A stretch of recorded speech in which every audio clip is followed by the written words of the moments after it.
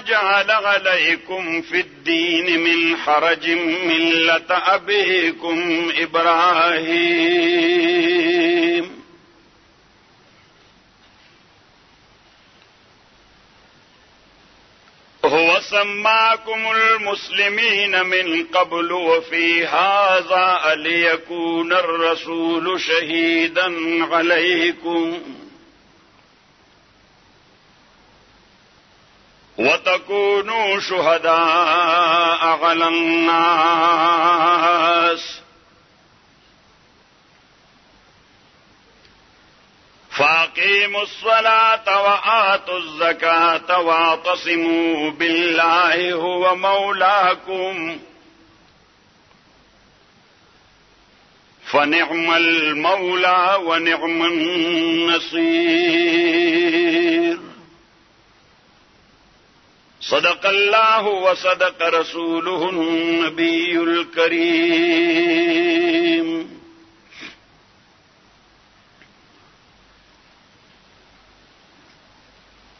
محترم مسلمانان ورونو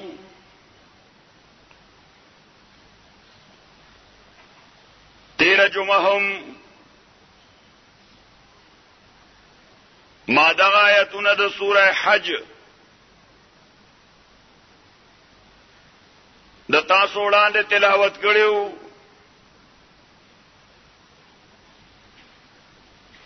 د دې آیتونو ابتدا الله تعالی په عمومي خطاب د یا ایه الناس کړی ده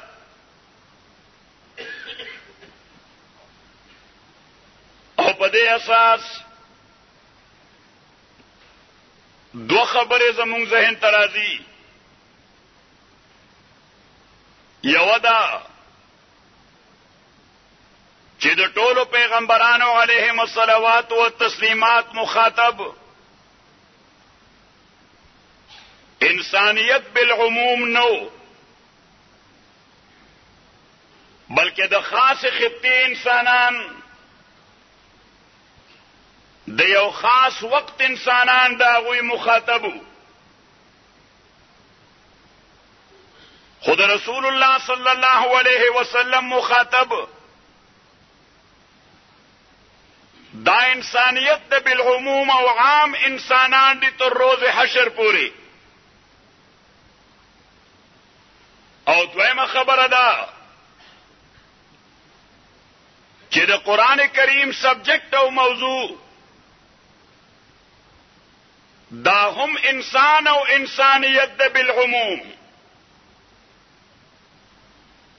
او دی وجه مونږ دغه اصول تفسیر کې یو خبره ذکر کوو لکه څنګه چې عموما ټولو کتابو او فنونو کې تاسو ذکر کوئ تعریف د علم موضوع د علم غرض او غایه د علم اوس تعریف د قران تاسو د اصول کتابونو کې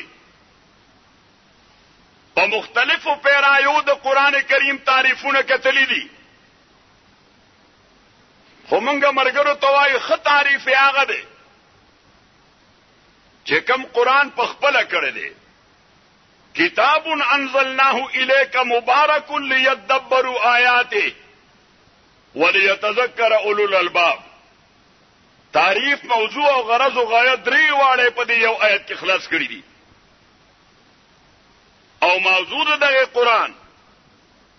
هغه د انسان نو د طب او ډاکټرای موضوع د انسان خو د طب او د ډاکټرای موضوع د انسان من حيث ان صحه والمرض تعرضان او يعرضان له په دې حیث چې د انسان باندې مرض راځي د ته صحت هم عارض کیږي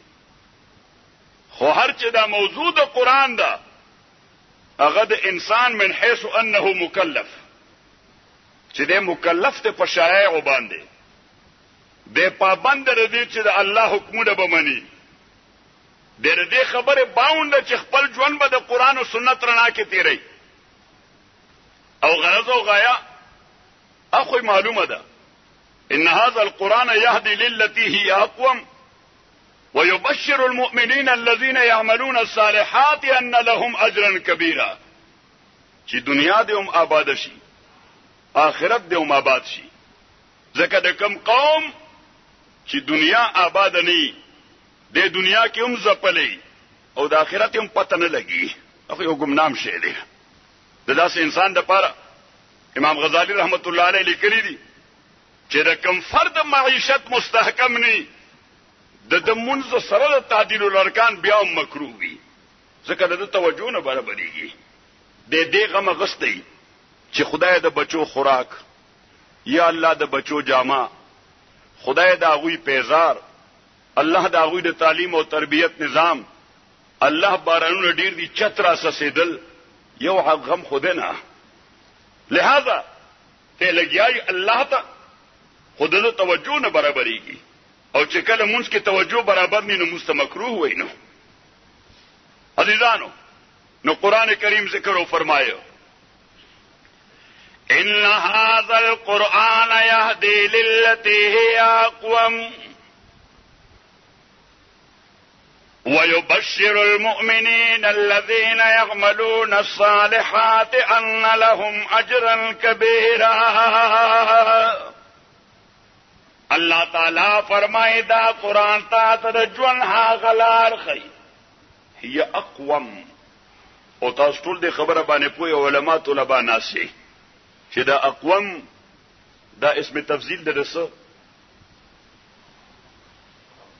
داسې نه کنه هر خبره چې کوئی ځان کې به خود اعتمادي پیدا کوي استاد ټول لدا مسله درځي دا خبره تاسو ته مر خوستا اعتماد نشته خدای ټیک به کې غلط به اسنه او شرمېږم صحیح او خود اعتمادي به در کې اله پیدا کیږي چې ځان ټو سم ایکسټنټ به حیا کی صحیح کدا د شرم پیسکوله د ځان نه دله کای کټ کړی نی ترغه تا کې خود اعتماد دا مسلمانانو لوی کمزوري ده صحیح زمرګری ته هم چې کنزلم کینو اعتماد سره کوا قد زړه د اخلاصه صحیح نو خود اعتمادي او کانفیډنس دا بنیادی شی دی ورنه بیا ژوند نشي تیرولې خود اعتمادي دا بنیادی شی دی د فرد د پاره هم د قام د پاره هم مونږ کې نه انفرادي طور خود اعتمادي پیدا شو نه را کې قومي اعتبار سره خود خود اعتمادي او نه را کې جماعتي اعتبار سره خود اعتمادي پیدا شو عزیزانو سو پر چې خود اعتمادي ني کامیابی ني نه دنیا کې او نه آخرت کې صحیح نو کوم سی غلط د اسم تفضیل دسو اسم تفضیل د فعل نه اسم تفضیل د صفت وی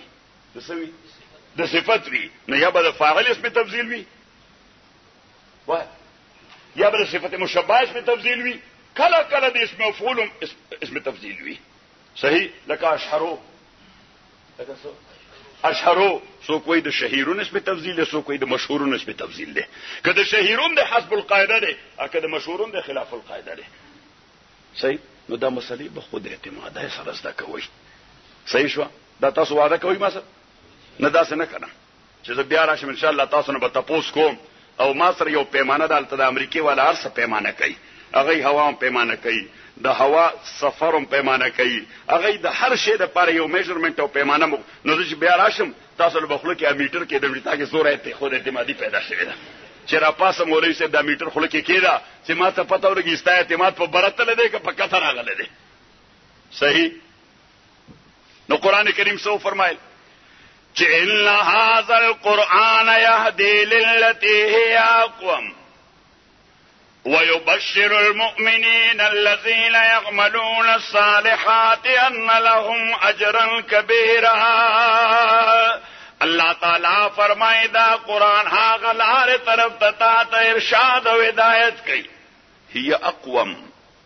هي اقوم نو دې ځای دې آیت کې دا د قائم اسم تفضیل نه د قیم اسم تفضیل دی دا ټول تولی کې به بدن هیر شي ځکه دا سطور خبري صدور کې ملاويږي نه بیا صدور خبري سطور کې ملاويږي ته به سطر کې بیا ګوره چې ان هاذا القران يهدي للتي هي اقوم دا قران کریم تا غلار ته برابر یا اقوم نو دا د قیم اسم تفضیل دی قیم اهل البيت هغه چاته وای چې د کور د اصلاح الامور ذمہ داری په سر غستی د اهل بیت قیمه هغه چاته وای چې د کور د ټولو امور د اصلاح ذمہ داری په سر غستی نه غته قیم ول نو چې دا قیم رد کې اقوام تا نو چې ډیر ستره ذمہ داری غستی او صحیح اصلاح کول هم شي الله تعالی او فرمایل چې دا قران کریم بستا د ټولو امور اصلاح کی او په اعلی پیمانه به وکي پرفیکشن به پکې پیدا کی جی اتمام او اکمال به وکي د قران کریم کم حل چې وی دي کې نقص او کوتاهی نه وي دیو جن الله تعالی صيغه د اقوام دا کوی انسیډنس نه چې د خدای خلی له خبر را لما عز الله نه دا د قران کریم اعجاز دی هر یو کلمه دا د قران اعجاز دی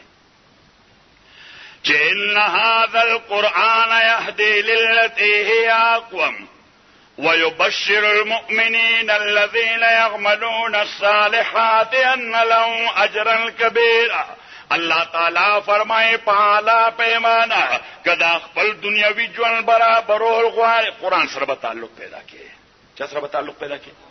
قران سره به تعلق پیدا کی مونږ نه خبره ګډه وډه شوې ده مونږ وو کوم معاملات ټیکول غواړي حکمران سره به تعلق پیدا کی وزیر صاحب سره به تعلق پیدا کی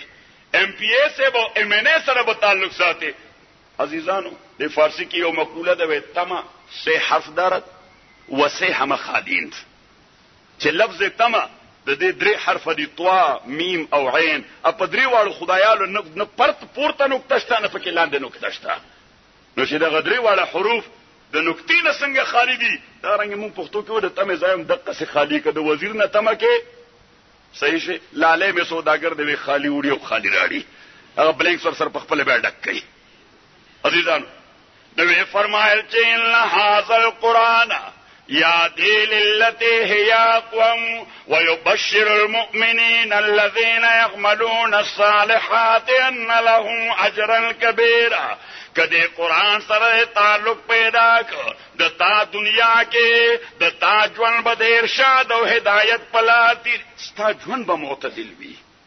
ستا ژوند به بیلنس وي مونږ یا په یو انداز باندې انتها پسند شو یا په بل انداز باندې انتها پسند شو يهود په یو انداز انتها پسند شو د افراط شکار شو عیسایان په بل انداز انتها پسند شو د تفرید شکار شو پیغمبر علیه الصلاۃ والسلام فرمایل چې زما امت دا میډیم امت تر د افراط او تفرید په د میس کې روان وي د افراط او لطف دین غلو فی الدین کوي نمبر اول نه تکاسل فی الدین کوي دین غلو فی الدین کوي کم چې د يهودو مزاجو نه تکاسل او سستی کوي په دین کې کم چې د عیسایانو مزاجو د دین د دین په حیث باندې فالو کوي نو کوم ځای قسم د تاسو ته یقین دهانی درکوم ته دین د دین په حیث باندې فالو کا بیا خپل ژوند ته وګوره تاسو سره پیسې بنی ژوند به د بادشاهانو غونې تیرې تاسو سره جایداد بنی ژوند به د بادشاهانو غونې تیرې او که کله دغه شعر خپل نکو ته به صدر په hebat پای ته وزیر اعظم په hebat پای ته به گورنر او وزیر اعلی په hebat پای ته به وزیر او منسټر په hebat پای نو وی فرمایل چې ان هاذا القران يهدي للتي هي اقوم دا قران کریم تا غلار ته برابرې چې هغه ډېر معتدل لار ده ډېر متوازن لار ده ډېر بیلنس لار ده ډېر او دا د امت پہچان ده دا د امت شناخت ده بلکې تاسو قران کریم کې وګورئ الله نمبر اول د فطرت تذکرہ کوي نمبر 2 د نبوت تذکرہ کوي نمبر 3 د امت تذکرہ کوي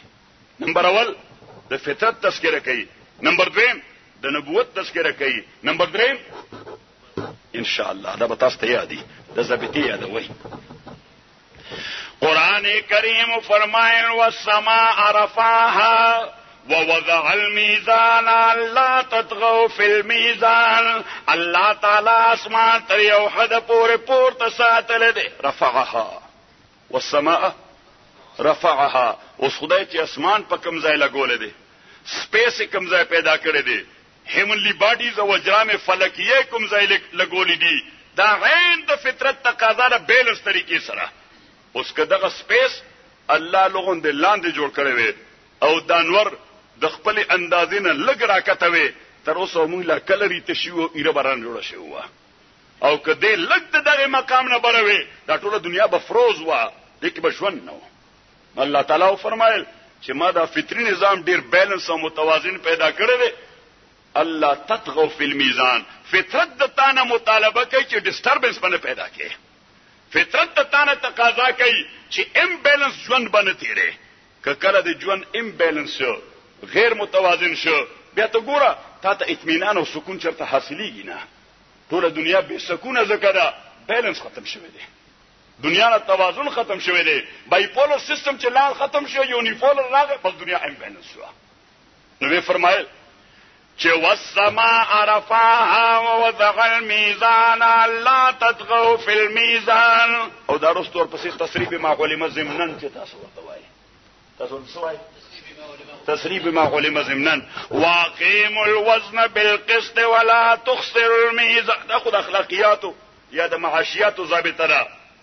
خو چې کله په دغه تناظر کې ورته وګوري چې الله تطغوا فی المیزان دا دغه تسریح ده چې واقیم الوزن بالقسط د انصاف تقاضې به ملحوظ ساتي او بیلنس په برقرار ساتي ولا تطغوا فی المیزان دا به امبیلنس کینا نو دا ضابطه دا به د ژوند هر یو پهلو او هر یو میدان ته متوجه کی د دې تعلق صرف الوګانو تللو سره نه دی صحیح چې واقیم ولو الوګانو تل باندې غساتي ډنډای له زور ورنکې نه مونږ صرف دغه یو شی د قران کریم هغه شمول جامعیت او مانعیت مونږ داسې را محدود غونډې کو هر یو په سړي پکې ځان ځان له برغنډې جوړ کړی دی زه مفتی صاحب وای قران کې وای هر یو سړي ځان ځان له برغنډې جوړ کړی دی لهدا دا قران د وحدت په ځای د نفرت ذریعہ وګرځیدا حالانکه د قران دنیا را جمع کړه په یو ځای باندې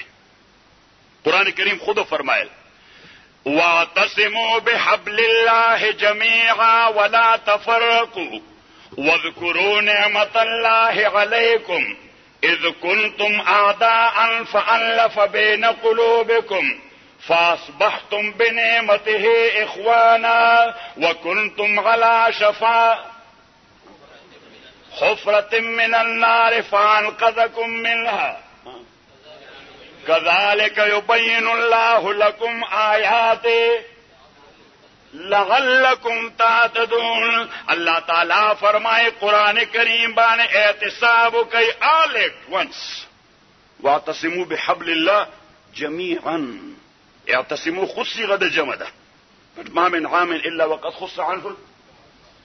دا خلک تاسو ثابتې یادې کړې دي چې ما من عام الا وقد خص عنه البعض الله تعالی او فرمایل چې دا د ایکسپشن او د ایگزمپشن دا تصور دی دا ختم کا واعتصموا بحبل الله جميعا all at once ټول په دې قران لاس لګوي په یو ځای په لاس لګوي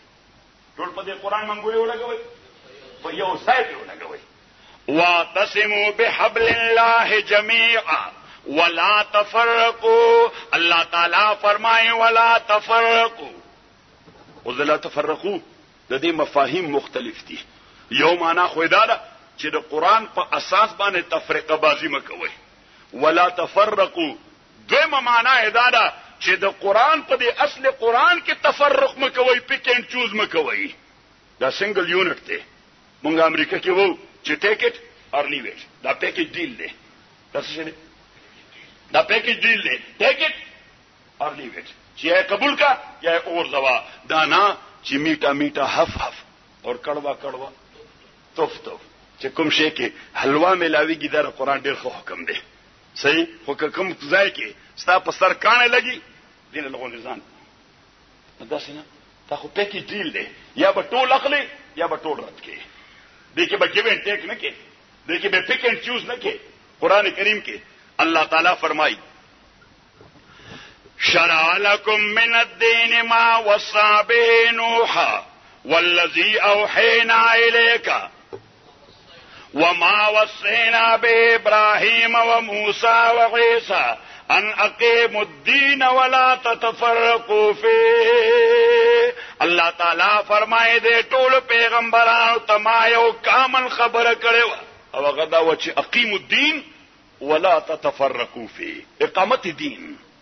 اقیم الدین اقامت دین اوس اقامت دین د سنه عبارت ته چې په انفرادي ژوند کې دا دین فالو کوا او ایغ نیغه فالو کوا دا څه کګورا کګوای ما چې بنت پکینی کوګواله پکینی ان اپرایټ پوزیشن کې وساته بالکل چې څنګه نه خدای را لګل دی دغه سې نیغ دا دین وساته صحیح مونږ اوس د خپل مصالح او بنیاد باندې په شرایعو کې او په دین کې او داغي بنیادی اصول کې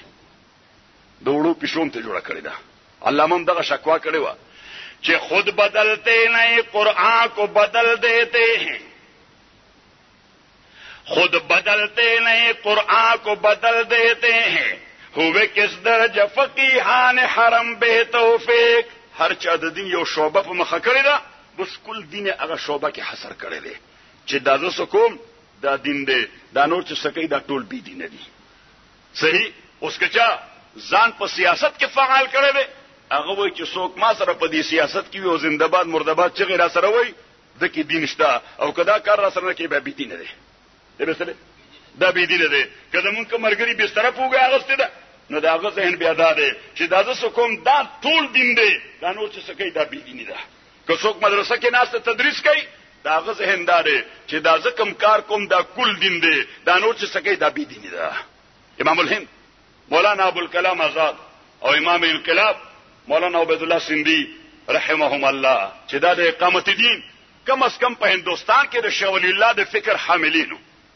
دوی دواړو یو خبره ذکر کړې ده دوی دواړو یو خبره چې دا دور د اجتماعیت دی دا دور د سره د اجتماعیت دی منتشر خدمتونه به یو ځای تراجمه کې تبي بدین راځي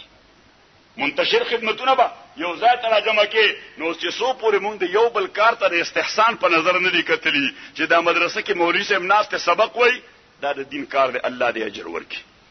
صحیح دا مرګري چې بستر په وګا غستې را چلې تیری دا د دین کار دی الله دې اجر ورکړي دا په سیاسي میدان کې جنډر او چته کړي دا زنده باد مرده باد وای خدا کی زمين پر خدا کا نظام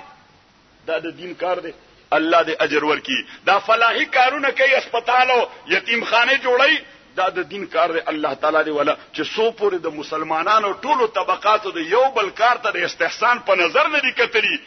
اولې نه ګوري ځکه زیات تر مفادات له پکې دخل لې صحیح او کم دا چې د مفاد او ټسل راشي الته بل په سرخ پکې دی تلی بستا مفاد پوره کیږي نو دې مفادات ته به خیر باد وای سبا کوي مفادات ته بای بای وای چې نن نه بعد زبد خپل ذاتی مفاد سوچ نکوم زبد الله د دین د مفاد سوچ کوم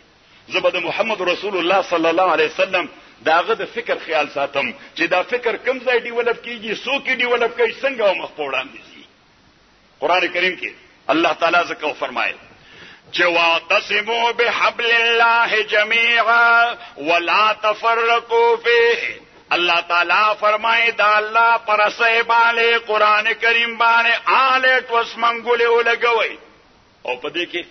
تفرق مکوئ نو تفرق کله د افرادو په اعتبار کله د نفس قران په اعتبار د افرادو په اعتبار چې سکټس پکې ما جوړوي اوس کله څوک غلطه طریقې سره دا آیت متوجي کوي دا حنفي دی دا شافعي دی دا مالکی دی دا حنبلی دی دا تفرق بالدین دی دا شرعا حرام او ناروا دی او څوک چې کوي دا د قران د دې حکم مخالفت کوي ما یو ملګریا بیا خو چې د ائمه اربعون را په دی خو د امت اکثریت والے نو اکثریت د امت خو تا مشرکان کړل پته نشته دا دین د چرته نزد کړل دی بیا صحیح اکثریت د امت د کافران کړل چې دا دین د کم ځای نزد کړل دی دا کم ځای نه اغسته دی یعنی ستانه دی فلسفي پیش نظر په امام بخاری بدر سره خبره کوم چې د مسلمان پاتې دی په امام مسلم در سره خبره کوم چې د مسلمان پاتې دی په ابو داوود او ترمذی در سره خبره کوم چې د مسلمان پاتې دی صحیح او زه ورته مې ملګریا تحمل د حدیث حالت د کفر کې وکي یا حالت د سبا کې او ادا د حدیث په حالت د اسلام کې یا په حالت د بلوغ کې کې نو دا ادا قبول عند المحدثین ده کنه دا قبول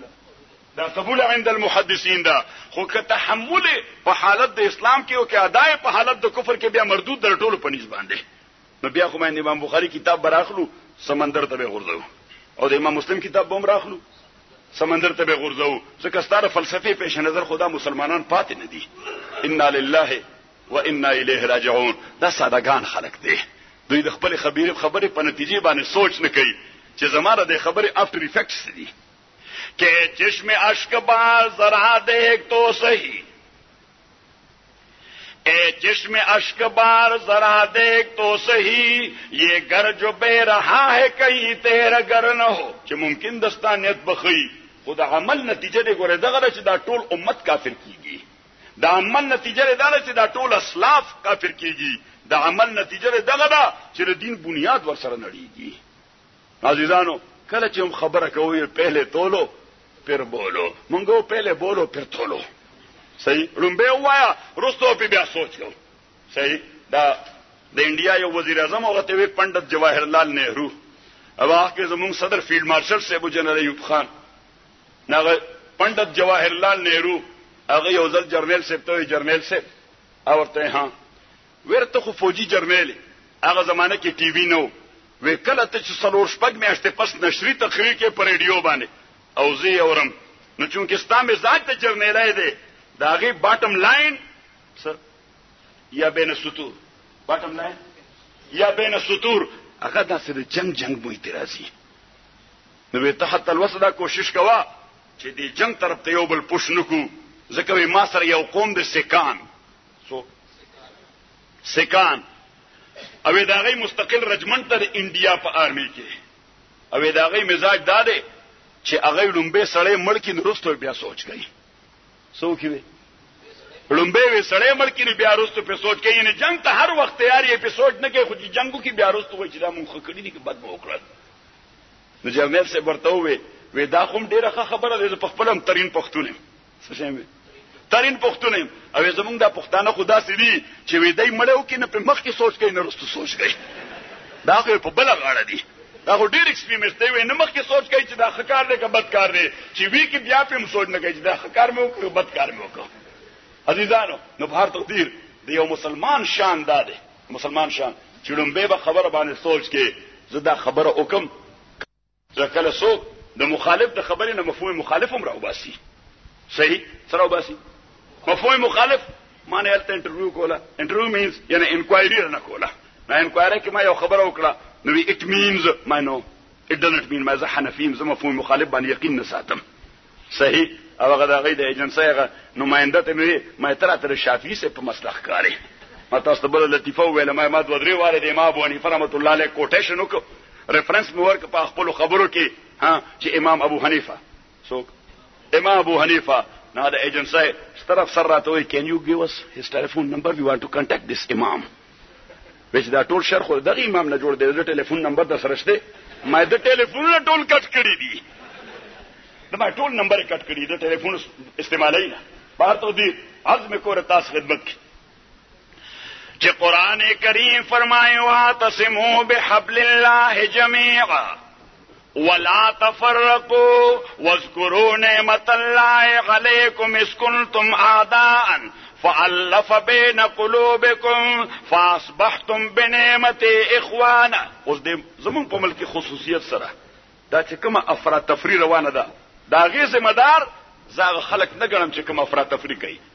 د هغې ذمه دار زه دغه نظام او سیستم ګڼم چې ایټ دي هیلم اف افیرز کوم خلک ناست دي هغه یې ولې د دین سرپرستي په خپل لاس کې نه اخلي چې کله د دین سرپرستي حکمرانان نه کوي وها په باند باند کې بولیاں بولی جايږي او بیا به حالت دغه چې حکمران لبم چل نه وردي چې دا مصیبت د کم ځای نه کنټرول کو به کنټرولېږي نه بیا خو ټرمایل شروع شي بیا خو یو سیاسي افراتفری وي بیا د ژوند هر میدان دومره ډیسټرب وي چې چاله پته نه بیا پولیس والے ته ما خام نه پس ګوره تانونه بار مراوځي بیا حکومت مجبوری دا وي چې بیا پولیس والے ته ما خام نه پس به تانونه بار نه راو نو بس بار د تانو نه راو بیا بزوی نه بدواګان اخلو تاسو موږ ته دعا وکړئ چې شو صاحب چې خدای موږ له خیر راکړي ته مستجاب الدعوات خدای ستا خبره ته وکړي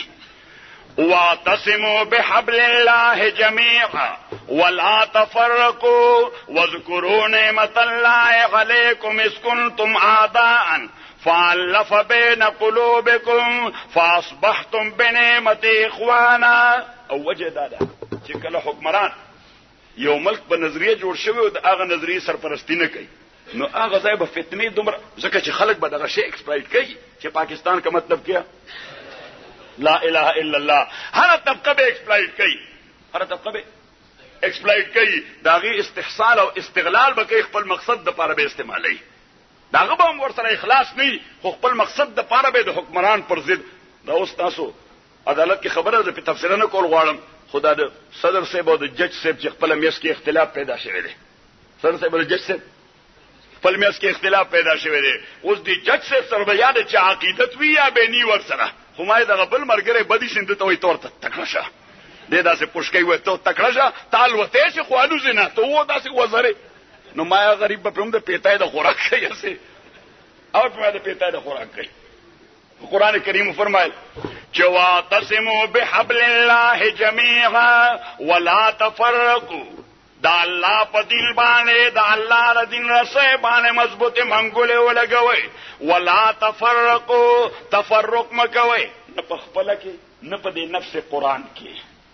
نه په خپله کې نه په دې نفس قران کې چې د مرزه خبره ته ځان لراخلي او نور خبره هغه اګنور کې حالانکه قران یو سنگل اکای ده د دې یو آیت د نور آیتونو د لپاره قید وي د دې یو آیت د نور آیت ته چې ان آیسولیشن واخلې همدا خو موږ ته په بیرونی دنیا کې فتنه ده بیرونی دنیا کې همدغه فتنه ده چې دوی راشي یو آیت راغستې دغه ترانسلیشن راغستې وې د دې معنی خدای چرته کافر دی بس مړ کړي صحیح وای دا قران او بیا لګي آرټیکل لیکي هغه آیت راغستي هغه باندې آرټیکل لیکلي دا د تخریب کارای کتاب دی چې کتاب څه دی دا د تخریب کارای کتاب دی اوس چې څوک هغه آرټیکل لیکي هغه ملفای د انټنشن لري هغه دشمنی لري قران کریم سره اسلام سره مسلمانانو سره مونږ حتی الوسه بیا کوشش کوو چې دا سړی اوس په دې خبره باندې پوه کړو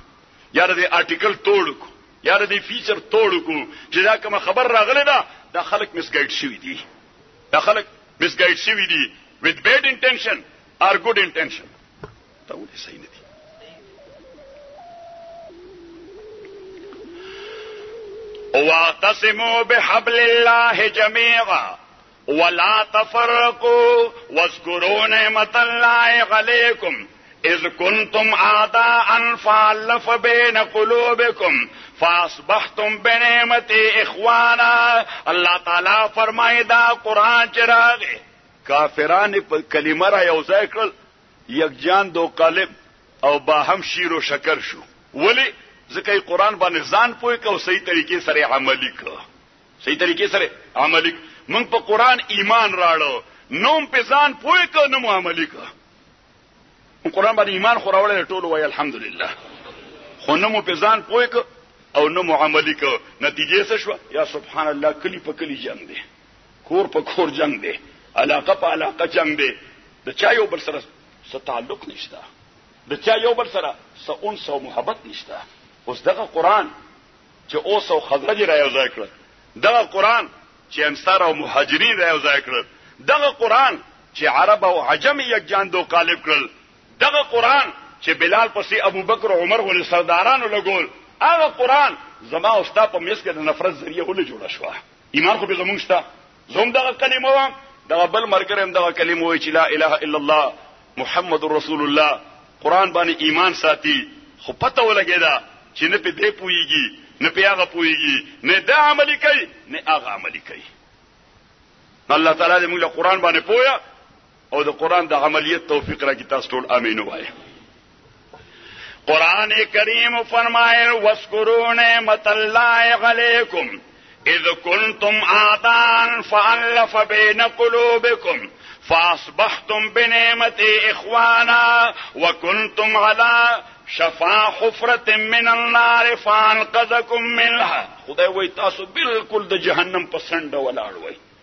د دې په کناره ولاړ وای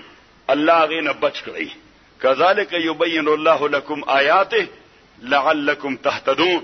الله تعالی فرمایي ز آیاتم دغه انداز سره تاسو ته تبیین کوم تبیین لغوی معنی دودھ کا دودھ اور پانی کا پانی کرنا ابان یبین ابانتن بیان یبین تبینا شی جدا کول شی سره دی بیان ته بیان هم ځکوي چې حق او باطل پکې سره جدا جدا کی صحیح او کوم دا چې ته بیان کې او مصلحت غسته حق ته حق نه وای باطل ته باطل پته ولګي دا بیان نه کړ سبل شی دی دا بیان ځکه د بیان خو نفس لغوي معنا یې دا ده چې حق او باطل دیو بل نه جدا جدا کا دا علایده خبره چې انداز بستاسي او انداز بری ترغیبي وي انداز به څنګه وي ترغیب چې خلک افند نشي ځکه که اوس تاسو ته بدره دي شروع کړي بلې ورځې تاسو بیا زما خبره اورئ صحیح نو اوس د بیان معنا دا ده چې انداز به ترغیبي وي خو پای کې او مداهنت نه کې رښتیا او ته به رښتیا وای دروغ ته به دروغ وای حق ته به حق وای باطل ته باطل وای په هغه کې به دا مصلحت پیش نظر نه چې راکه دا خبره مې وکړه ټیک د زما انداز بخي خو دغه مولوی سه بخفشي خدای دې نه خفه کوي الله رضا مولوی سه خوشاله کړي صحیح دغه کاکا به خفه شي الله دې دې نه خفه کوي خدای دې دې خوشاله کړي او که خفه شنو تپوس به ته چې مرګریا ته په څه خفه یې نو کاغه وای په دا خبره نو زه به پوه کوم چې مرګریا دا خبره ما د قران نه کړې و دا خبره ما د حدیث ټیک ده خو نو ټیک د خو د معنا دا چې تر قران په ځای ځانو درول غواړي د خدای په ځای ځانو درول غواړي د پیغمبر په ځای ځانو درول غواړي صحیح او کسره د خفاینو تما ته وایا پیسې درکم چې خوشاله شي نو کوي را سره در بکم نه لا وعده در حکم چې خدای دې خوشاله کی صحیح د واده پس منظر کې سو خوشحاليږي نه ټول خلک بیا خفای خو د وخت پوی نشي ګړبړ شي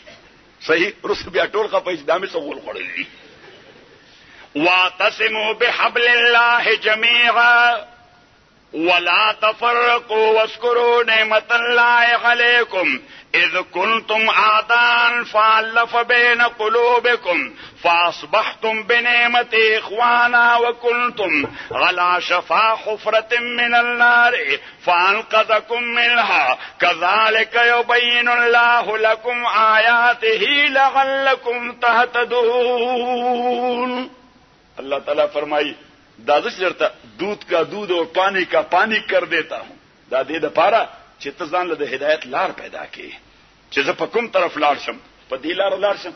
که په دې لار لاړ شم الله تعالی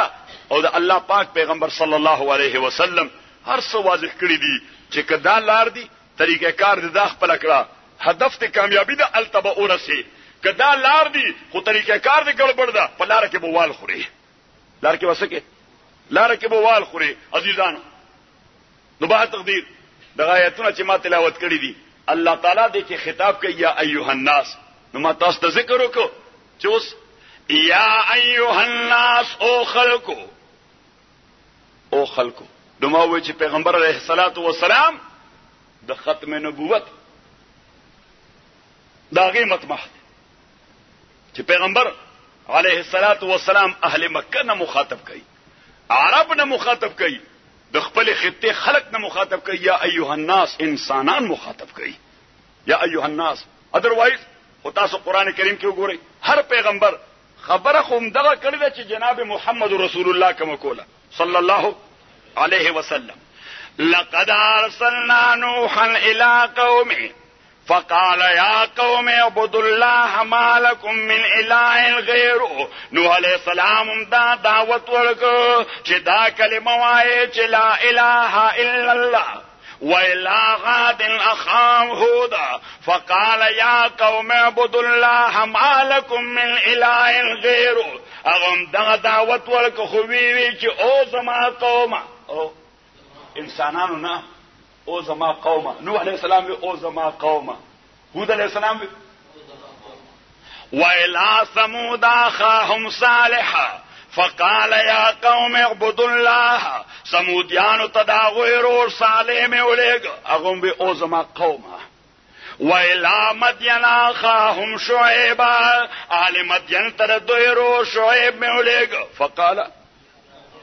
یا قوم عبد الله په دې کې صرف یو پیغمبر دی تسلسل کې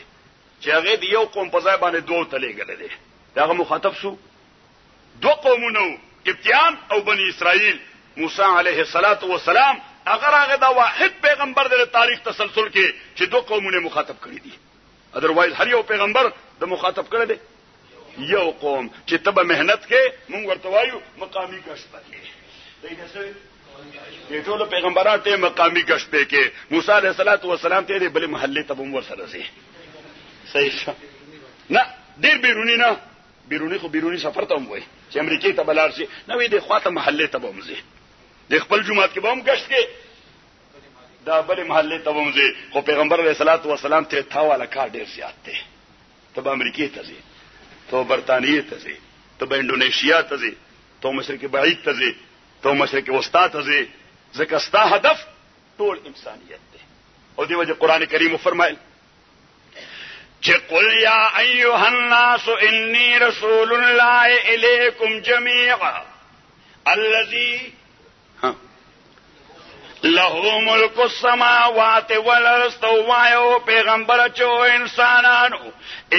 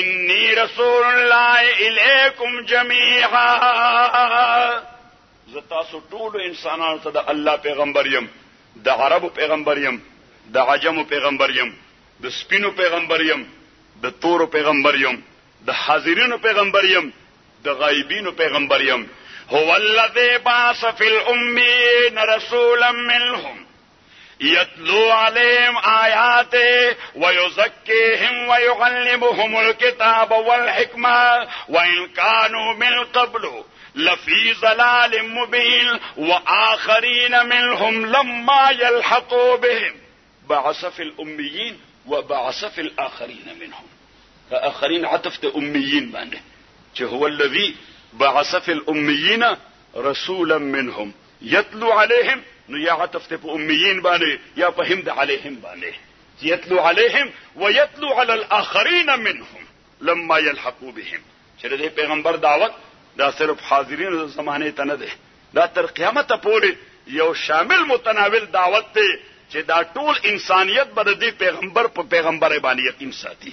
او د کلمه بوي چې لا اله الا الله محمد رسول الله او فضیلت سمره ده فضیلت اگر چې لفظا دا حدیث ثابت نه دی معنا یې په بلا روایتو کې راغلی ده چې د دوی مرتبه دا د بنی اسرائیل د انبیاو ده د محمد رسول الله د امتیانو مرتبه ها خو ذمہ داری بیا هغه عمر ده مونږ ته شروط به پسې منډو دا جنگ هم پدې جوړ دی چې یاري او سړی د حقوق مطالبه کوي د فرایض سو تذکرہ نه کوي د ذمہ دارو سو احساس نه کوي چې زما ډیوټي څه ده زما مسؤلیت څه دی هر یو سړی وای زما حق څه دی نو چې هر یو سړی د حق مطالبه کوي ذمہ داری پوری کیه بغیر الته ټرمایل جوړیږي الته به دغه هنګامي صحیح او صرف عوامو کې بني خواصو کې بم دغه هنګامي خواصو کې او خواصو کې مولوی صاحبان خواصو کې مولوی صاحبان نو مولوی صاحبان زه چې راغلم الله دې رحم وکړي تاسو ټول امين وای الله دې رحم وکړي مولوی صاحبان یو مولوی صاحب راشي ځینو ام پی ایس دا چلو خاص وام وک خوش و خوش و چې وی بل راشي نه وایي چې امیر صاحب دا لوبه وکړه او زما خدا سپین د سپین مول عالم چې مرګور راته وی چې یا سبحان ما وی یو دور آغو چې دغه جمعیت العلماء مشری مونږ په منت باندې علما او تور کوله په جرګه بولدو چې ته بجې د کلی امیر هغه نه نه زنه شم کوله زما مصروفیات ډیر دي زه به خدمات کوم د فکر خو ذمہ داری بل چاته ور کوي د تحصیل امارت لپاره اخو به پوره لوی جرګه بم ولا بوتله چې د خدای خاطر وکا ته مولوی صاحب ځکه چې کرایټیرین زمون په نسبانه علم دی تقوا ده فعالیت ده اعتماد ده څلور شی نه دي نو په دا کرایټیرین باندې ته برابرې لہذا ته دا شی قبلې هغه منت کو چې نه شم کوله پوه شوې او اوس خو ماته مرګرو وې ویره جی سپین ګری سپین ګری هغه بل لابین کو تا به کنه دی یو نو سیکریټری جنرال به جوړیږي کوفی انان ختميږي د به سیکریټری جنرال کیږي لابي به کولا ته بیا زمانو پیش کا صحیح شو ته بیا او بیا سوره منافقت چې هغه نوم به پیش شو چونکه مسئولیت ته خود مرګرو حکم ونه نو ما یا الله چې مونږه دا پټکو ګیرو سره دا منافقت شروع کو پته نشته دنیا به جوړیږي پته نشته د خدای خاطر وکي د خدای خاطر وکي د خدای خاطر وکي دا کابر دا جماعت واپس هغه ځای ته بوزي چې کوم ځای نه اکابر شروع کړو صحیح حافظ الحدیث مولانا عبد الله سید الخاستی رحمه الله چې کله امیر منتخب شو هغه شرط کې خو ده څه وکړه شرط کې خو ده وکبرني موت العلماء کبرني موت الكبرى د لوی خلکو مرګ زلوې سړی کړم شیخ التفسیر وفاتو شو وفاتو امیر اول شیخ التفسیر مولانا احمد علی لاهوری رحمت الله علیه حافظ الحدیث صاحب رحمت الله علیه چې کله دا غنوم په شمارت لپاره هغه ورګه دا تایید بنه کوي زه به یو شرط کېدم زه په دې سیاسي فکر ډیر نه پوهیږم د تدریس د میدان سړی یم تاسو را باندې زور کوئ نو د سیاسي فکر چلو د پر مولانا غلام غوث صاحب کومه سره سیکټری کیږي نو زه بیا امارت قبلوم کې بالکل نه قبلوم ځکه دا سړی انګریزانو سره جنگیدل دي دا سړی په هرار کې انګریزانو سره جنگیدل دي د په دې سیاسي ګوتو پويږي زنه په پويږم هلته به شرایط کې خو دې شو چې نجیب مالا سپورټ وکړ دي کتره باندې زور کې دلته وای نه نه سپورټ راوستو کوي یوازې د هر سره پاره خیم دا صرف زمونږ لا څوک مرګره پکې دا وای اوس مونږ سره زور دی ما مرګریا دا تکبر او تعالی دا خدای بالکل خوښ نه ده دا تکبر او تعالی د علماو پہچان ده تواضع د علماو پہچان ده تواضع الله تعالی قران کریم کې ذکر کوي د بلعام ابن باعوره سوره اعراف کې سوره آیت ها شابه فمثله كمثل الكلب ولكنه اخلد الى الارض واتبع هواه فمثله كمثل الكلب ان تحمل عليه يلهث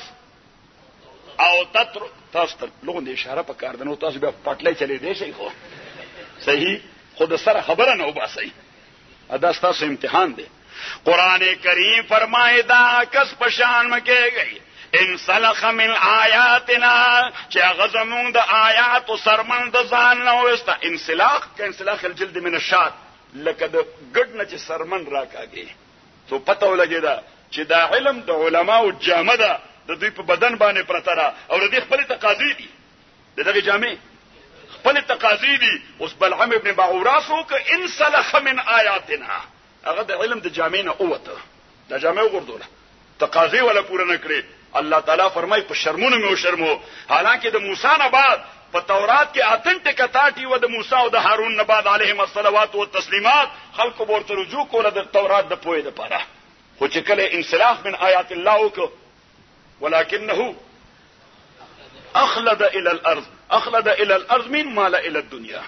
ټیکنیکل معنی ده مال الى الدنيا دنیا دارای له ترجیح ورکړه سره ترجیح ورکړه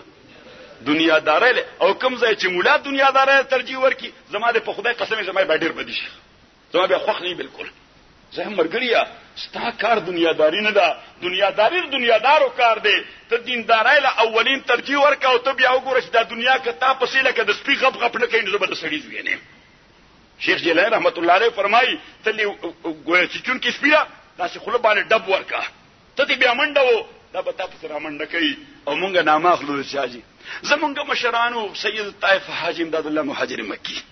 رحمت الله علیه قاسم العلوم والخيرات مولانا قاسم نالوتوی حجت الاسلام مولانا حسین احمد مدنی امام العصر ابو الكلام امام الهند مولانا ابو الكلام آزاد امام العصر علامه انور شاه کاشمیری نو تبیا د دوی هیستوري لګا ګوره چې دغه مولانا قاسم نانوتوی رحمت الله علیه چې مدرسې نه به تنخواه غسته سلور روپۍ سور سلور روپۍ او که ضرورت به د سلور نه کمی کې پوره شو نو چې کمی پیسې به ور سره بچي به واپس بیت المال ته وړي د مدرسې خزانه کې به واپس داخله کړي دا ما سره سیوا شي وي صحیح چونکه د انګريز خلاف تحریک چلو هغه زمانہ کې 12000 روپۍ ورته چاره وړي وې دا چې د مدرسې د پاره چنده ده سره پاره ده مدرسې د پاره چا دیو چې ما بل دی ذمہ دارو کسانو ته وې ما چې کله وزیر او ایم ان ای او ایم پی ای نو کله مدرسې چنده ده لوم سو درکې کله لوګي مړي کې وای نه نه بس زمون کار برابر ده ځکه دغه ملګری چې پرون ته ایم ان ای نه وینه اوره تعالی چنده نه کوله ته چې پرون وزیر نه وی هلا جلست فی بیت امک ابو هريره رضی الله تعالی عنه ونسره چاول یو پرتګاخ ور کړی دی څه ول ورکړی دی د ټیکس کلیکټر څه شو ټیکس کلیکټر ټیکس را جمع کو اوس الته چاوله او پرتګاخ ورکړه وې دا جی ستاده پاره دی دا سره دا ستاده پاره دی اوس دام دوره پاک سړیو چې واپس مدینه منوره ته په زرګونو ډالر راړي د ټیکس صحیح نو دا پرتګاخ هم جیب کې وانه چونه کور کې وګورځو حضرت عمر ته وړاندې کې خود وې دا جی چا مال را کړو دا پرتګاخ دا وی چې مال را کړو معنا دا ده چې استاد فیصله ده چې تاسو کول غواړئ نه مال را کېو قدم بیت المال کې چې حضرت عمر رضی الله تعالی عنہ ورته وی وی هلا جلست فی بیت امک فیعطیک هلا جلست فی بیت امک فیعطیک وی ته چې د مور کور کې ناشته نه وړي د خلک پرته واخ نه را لېږي دا وته د کلکټر په حیثیت ته تلوي ستا منصب لې ور کړی دا ستا عهدې له ورکړ یا سبحان الله زمونږ وزیران لاړ شي زمونږ منسټران صاحبان لاړ شي ایم ان اګان ایم پی اګان لاړ شي الته څه تحفه چې ورته ملاو شي رسای کور ته ورسي رسای سو کی کور ته ورسي معلوم چې او تحفه را کړو بهر څه یو تحفه چا د ګړای را کړی و په سرکاري دوره تلم نو واپس را دالته سلام ناشته چرته ناغه ته مې دا خرڅه کا ځکه مې دوره تفسیر شروع ده چې میخه نه دراوسته په دې باندې و میخه والو طالبانو له ځکه د بیت المال نه دی استحقاق دی چې دای ته خوراک بلاو شي نه ور کوي ولا دا ما بیت المال کې ور کول ما دا خرڅه کا چې میخه پیوالو ناغه خرڅه کړه په لز روپانو په لز درو میخه واوسم طالبان نو بیا حلال کړه صحیح وی هلا جلست فی بیت امک فیعطیک ته د مور کور کې ولې نه کېناستې چې دا شی لر کړو حضرت ابو هريره وی چې غواړم هم نه ما خو صرف کیفیت تا تخکارا کو چې دا چا مال شخصي تور را کړی دی الله تعالی دې زمونږ ایمان په خپل ذات باندې برابر کی تاسو ټول امين وای حضرت انوتی رحمت الله علیه ته 12000 روپۍ راړې وې دا چې د مدرسې لپاره مولانا تی رحمت الله علیه ورته زمونږ کار برابر دي زمونږ کار برابر او څومره لوی ولی سړی یو نواب ول خپل لور ورکړي او په نکاح باندې او هغه ته د جهیز سامان دومره ډیر راغلی د نواب لور و دومره ډیر سره ور سره راغلی د کالو ډکوا مولانا رحمت الله علیه په ليله الزفاف په نوم بش په ورته وې چې دا د ښځې او د خاوند کور په داسې انداز نه جوړېږي چې یا خاوند ډېر مالدار وي او ښځه ډېره غریبه وي او یا چې ښځه ډېره مالداره وي خاوند یې ډېر غریب بیا خو خالص دوزخ دی چې ته څه یې روانه خوله دې نیولې ده ته خو د لوږې هلاکې دی زما پلار ته دعا کوه په نوړای موړ شي د سپي زویه صحیح حضرت نانوتي رحمت الله علیه ورته ووی وی دا کور به نو وی اوس ځان ستا په شان مالدارونه خو نشم ما سره څه داسې کیمیا نشته چې زه به هغه کیمیا استعمال کوم او ستا غوندې او مالدار شم خو ستا زما په شان کېدل ډېر اسان کار دی ته زما په شان کېدې شي ډېره اسانه هغې ورته یې څنګه هغه هم نواب دیندار سړی و ځکه مولا صاحب له خپله لور ورکړې وه وې ستا دا کالي او تا چې کومې پیسې راوړې دي دا به د دارلوم خزانه کې داخلوم یا واپس پلار کړه لېږي هغه وی که پلار کرے لګم پلار مې خفه کیږي وی بیا نو ما تراکا او شپه په شپه راغې د دارلوم خازن ته وی دا د دارلوم په بیت المال کې داخل کا صحیح اوس به زما او تا کور برابر رواني ځکه ته زما په شان شوې ته څنګه شوې زما په شان شوې او سړی په لار روانو چې مولا صاحب د خضر علیه السلام واقع کړی و وی حضرت خضر چې در باندې پیښ شي حضرت خضر چیر باندې پیښ شي سو کو د امام مهدی متعلق دغه ویو دنیا ټوله په تذبذب کې دا استراف کې دا په تکلیف کې دا ها خلک یو بل دې غټه ګوته کې ډوکه ګوري چا ورته ویلي چې امام مهدی په غټه ګوته کې اډو کې نشته ما ته یو کس وی ما د پلار ګوتې له زور ورکې چرته دی نه ځکه هم نیک په سړی ښکارې دی ما درج دا کور کې ما مادي او ما ته نه معلوم صحیح د کمزوري قوم هم دغه نتیجه هم دقه چې دی بیا امام مادي پسې ګرځي چې په خپل ته سکار نه کیږي وای کې امام مادي راته ملاو شه نو مولا صاحب خبره کړې و به حضرت خضر چې در باندې پیښ شو کومه دواله ته غوستا بس ها قبليږي هغه قبليږي او وې د هغه په دې کټه ګوته کې اډو کې نشته یو سړی را روانو خسته شکل او شین پټکی واره څنګه او شنی جامې یې چولې وي او یو ډنګوره وسره لاس کې وا اوس د خود خزر په فکر کې بس یا سړیو کته ګوتې متې ته هم نه کتري خو خلاص شپې او ځان سره راجوخ کو وی شکر دې تر باندې خدای پیښ کړي اوس سړی هم ډیر لالیو هغه وی ته سو ګوره خزر ګوره هغه ورته او وی ته یې کنه هغه ورته نه زه خضر نه وینا ته ما نه ځان خلاصې به استاد په جمعات کې هم دا ویلو چې هغه چاته ځان نه خي ته ما نه ځان خلاصې دعا براته کې سبق دعا براته کې هغه ورته زه ګوره خضر نه وینا نه ته یې وسته زما خبره ته وکړ ویزه خضر نیم زه د خدای کشر رورم وی بیا خو نورم قوت والای بیا خو دا نوره هم مزه وشوه، نو یې ما ته به دعا کې، نو وې ښه ته څه غواړې؟ وې دا یو سترګه مې کاڼی ده، که دا دې راره روغه کړه، نو هغه ورته دا خو د مشر لالا کار دی، هغې کې خو زه څه عمل دخل نه شم کولی، که دا بله کاڼی کول غواړې چې اوس یې دله وکړم. نو مولانا قاسم صاحب رحمت الله رحمت الله علیه ورته وی چې تا په شان ځان خو نشم مالدارولې خو ځان په شان کولې شم ډیر په اسانه صحیح فضل الهی چې میسر شوت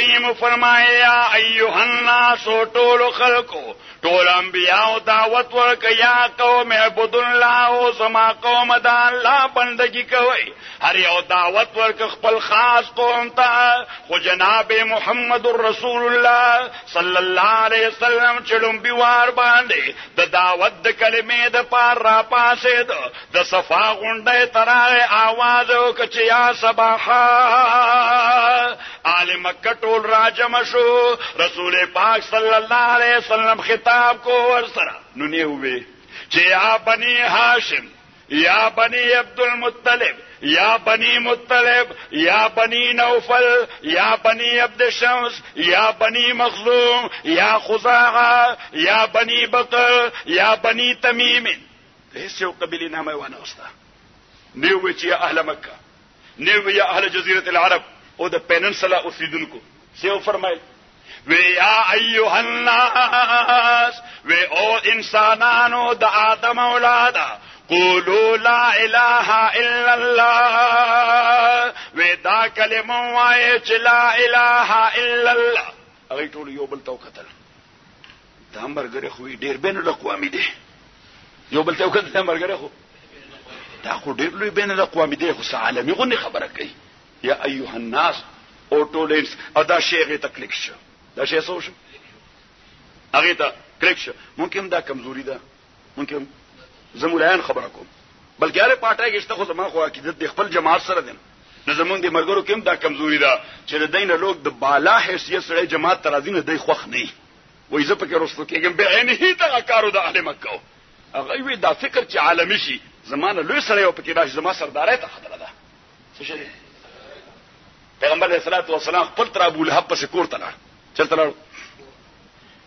خپل تر دې ابو لهب او دا هغه تر دې دا ربیع الاول دی تاسو به جلوسونه ملوسونه وباسئ صحیح دا لومبه جلوس ابو لهب است لومبه جلوس است یعنی دا جشن او چراغان مناو کړ ابو لهب پیغمبر علیه الصلاۃ والسلام دا هغه په پیدایش باندې د غوړو او د روغن زیتون چراغونه لګولي په ټول مکه کې او ټول اهل مکه ول دعوت ورکړو ټول اهل مکه ول دعوت ورکړو او خپل وینځه سو سویبا سوبیانه سویبا هغه آزاد کړي او خوشاله کی چې هغه ول خبر راړو وستا د مړ رور عبد الله کور آباد سے زوی پیدا شه ناغه ورته ته آزاد یې سویبه ته سوې وې ته آزاد یې عزیزانو اوس دغه ابو لهب چې پیغمبر دعوت ورکړم به گزار پیغمبر پاک باندې دوک صلی الله علیه وسلم حضور رسول الله والسلام دوره او در دې چې الله چې په چا باندې زما اعتماد او زما تر اغلم به زما مخالفت وکړ ډیر دل برداشت شه خو چې کله خلق خواره شه پیغمبر علیه الصلاۃ والسلام